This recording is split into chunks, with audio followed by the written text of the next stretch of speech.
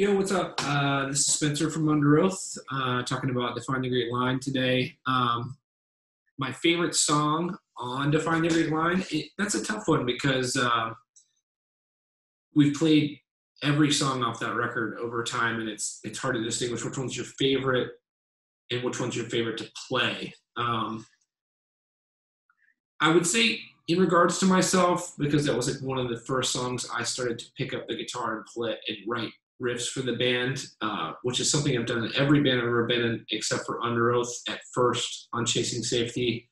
Something I didn't do was pick up the guitar, and from Define on, I was always a part of the musical side of things as well. And in regards being the first um, set of riffs that I wrote for the band, uh, you know, kind of makes a special place in my heart for that song. We played it every single night, I think, since we put that out. So, um, yeah, I, I guess it's my favorite, but um, it's hard to it's hard to say. Uh, the the hardest song to write on the record. Oh man, I don't even know. Um,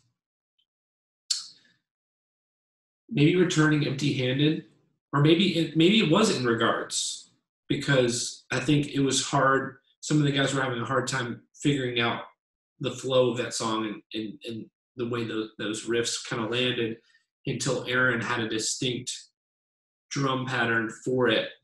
It was harder for uh, some of the other guys to understand what, what it is we were actually playing.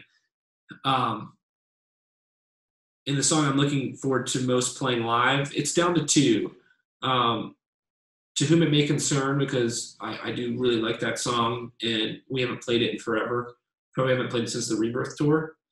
Um, or casting such a thin shadow. I love playing that song because there's actually three guitar players on that song live which is fun for me to play and sing live. I, I do enjoy the songs that i play guitar and sing on. Um, so yeah but um, yeah i'm gonna i'm gonna say it's a tie between uh, casting such a thin shadow and um, to whom it may concern. And yeah, that's define the great line.